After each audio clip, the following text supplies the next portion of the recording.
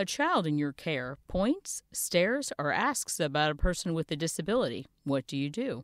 I'm Maureen Reid with the Disability Minute. Children are naturally curious, and when they encounter something they don't understand, like a person with a disability, they may act in a way that is uncomfortable for you and the person with the disability. Rather than cringe or run away, Monica Solarewicz, a parent and registered behavior technician, suggests approaching the scenario head on. I try to be just very factual about it and like very neutral when explaining it. But then I also try to explain how that specific disability might make someone's life different. As much as you may want to, don't assume the person with the disability wants to be part of the teachable moment.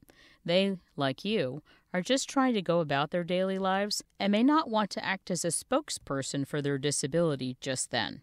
Produced by people with disabilities at the Chicago Lighthouse. Maureen Reid for News Radio 1059 WBBM.